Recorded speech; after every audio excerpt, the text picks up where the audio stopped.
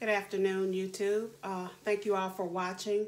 If you're new here, thank you all for stopping by. If you've been here before, thank you and welcome back. I wanted to share my unboxing of a pre-loved bag that I purchased uh, on Poshmark. And this is how the bag came. I can hear rattling. And I removed my address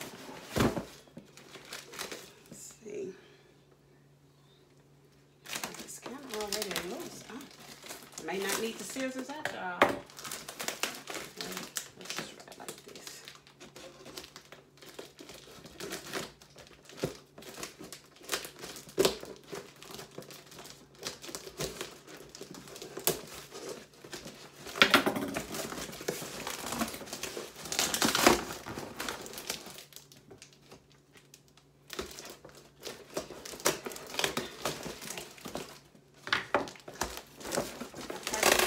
Bag after I saw it on Poshmark last week.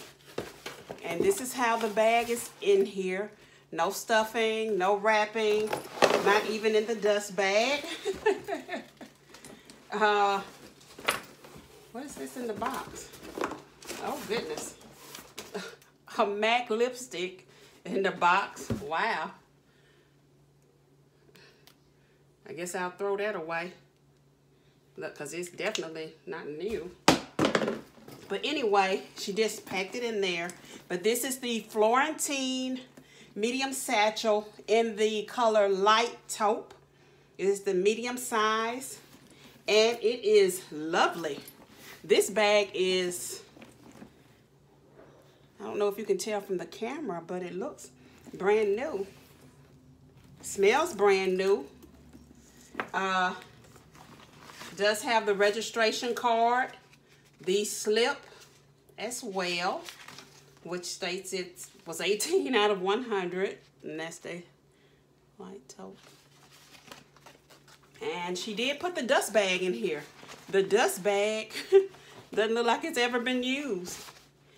And here's the strap.